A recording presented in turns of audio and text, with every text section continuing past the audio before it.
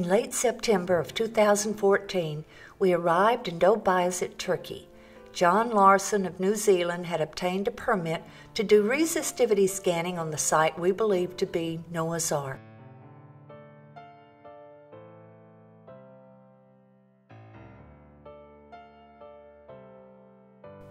Resistivity imaging is complex and has improved greatly with the advent of more powerful computers and resistivity systems.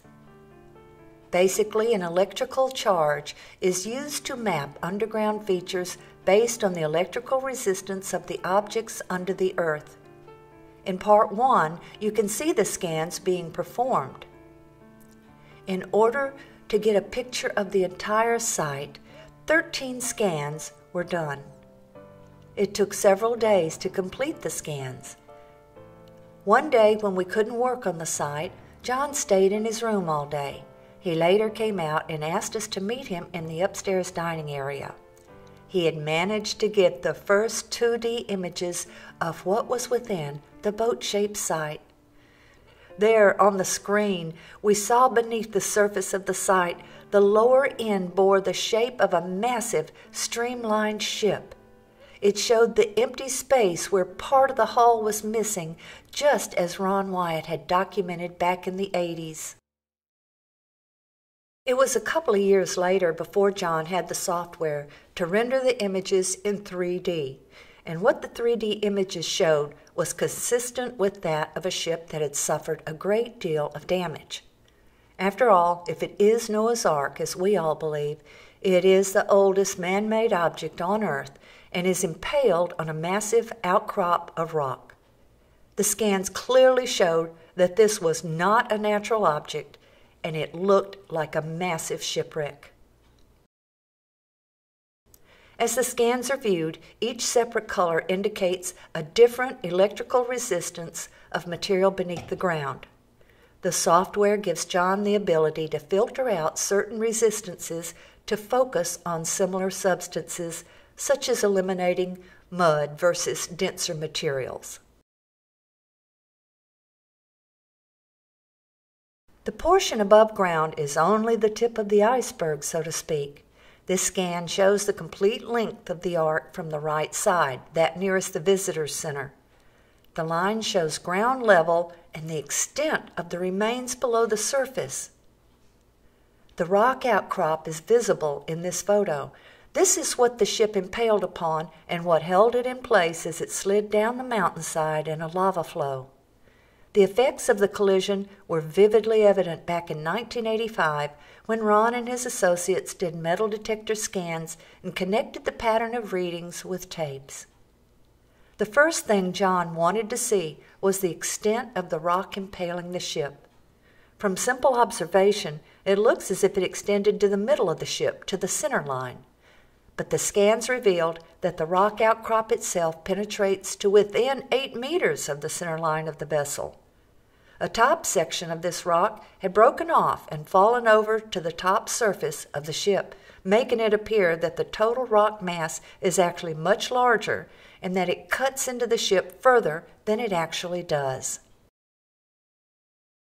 The scans show that the hull is abruptly cut where the rock intersects with it, and this is consistent with the damage which would be expected if a wooden hulled ship struck a rock and became impaled upon it.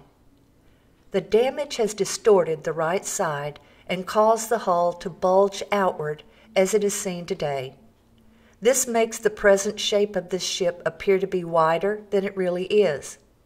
Scans show that the top part of the hull on the right side has broken completely away and separated from the main section of the ship and tipped outwards. The intact section of the hull, which includes the left side and the center of the vessel, is seen to be considerably more resistive than the separated section on the right side.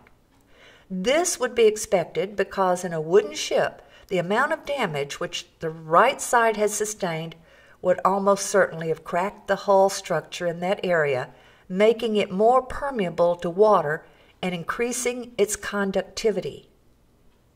Here, the right side of the hull shape is shown repositioned and moved back into its original shape, where it again joins onto the main hull section and is symmetrical to the left side. The packing together of the resistivity contour lines at the boundary between the hull shape and the surrounding material indicates that a sudden change in material properties takes place at this boundary. The material inside the hull shape has a different electrical resistivity compared to the material outside the hull outline, and both of these areas are markedly different from the electrical properties of rock. Looking at the hull shape in three dimensions, the resistivity images show that the front section, which lies beneath the ground, resembles the form of a ship which is streamlined and with the shape of a deep hull design. The resistivity values of the material forming the hull are also the same above the ground as they are beneath. This indicates that the same material makes up the entire hull shape and that this material is relatively impermeable to water. It is a hard substance which has retained its shape. Around the edge of the site are features which Ron believed to be the ribs of the ship. The scans revealed even more encouraging evidence than we could have ever asked for. They showed that the material forming these ribs continued below the ground surface and curved underneath the vessel just as a rib timber would be expected. The electrical resistivity of the material forming the rib was more resistive than the surrounding mud, and the level of resistivity did not appear to change with depth. This consistency indicated that the composition of the material forming the rib had not been unevenly saturated with water or decomposed. Instead, the material appears to be still holding its own structure and is relatively impermeable to water. Ron Wyatt used to point on the inner side of the ship's hull to a series of equally spaced protrusions which are projected at 90 degrees from the outer edge of the hull towards the inside of the ship. He believed these were deck joists which once held a floor or ceiling of some type. The scans revealed that these protrusions were of the same resistivity as the apparent rib material. They also revealed that they extended back into the hull and connected directly to the adjacent rib, exactly as Ron believed. Scans show that within the hull shape there are three distinct flat surfaces of material which extend across the width of the inside of the hull shape.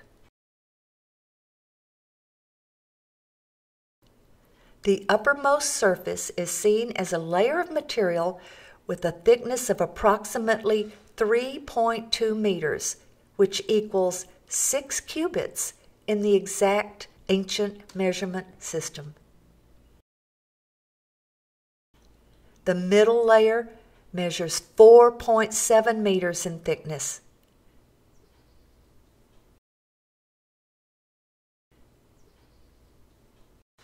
The height of the lowest deck from the floor to the ceiling measures 7.8 meters, which is exactly 15 ancient cubits. Along the exact center line of the ship, the scans identified an area of much higher resistivity, which is possibly an open cavity. The bottom edge of this cavity is inclined on a 35 degree angle relative to the decks of the ship and slopes downward like a central stairway, where it connects the upper, middle, and bottom decks. Halfway down this stairway, at the same level as the floor of the middle deck, the angle of this stairway area flattens out to the same orientation as the middle deck forming what appears to be a horizontal landing.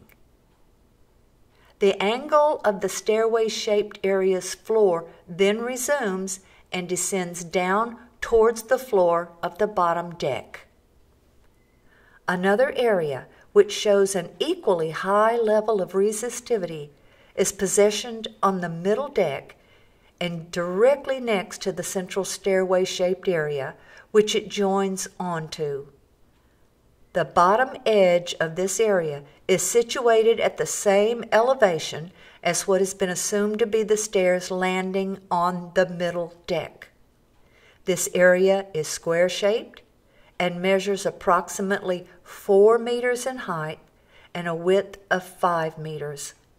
It is shaped like a corridor and is oriented at 90 degrees to the stairway shape so that it connects what appears to be the stairway central landing on the middle deck with the outside edge of the left side of the hull. The corridor shape is the only place which penetrates through the side of the hull. Its position in the center of the vessel and leading directly to the central stairway of the ship on the middle deck agrees with the biblical description of a door of the ark. One interesting feature which shows the difference between solid material, that is, one entire piece, versus areas where solid material has been fragmented, can be seen in the location of the 1960 dynamite blast. This shows the location of the blast performed on the left side of the ship the dynamite damage is visible because the material around the dynamite hole has fractured with the blast and is absorbing more water than the surrounding material. This makes the area around the dynamite hole more conductive and shows up on the scans as the red color. These scans conclusively show that this site is not a rock upthrust. It appears to be an object that displays every evidence of being man made. When the resistivity images were compared to the results of the radar scans performed by Ron Wyatt, it was found that the positions of these structures were in exactly the same locations within the ship.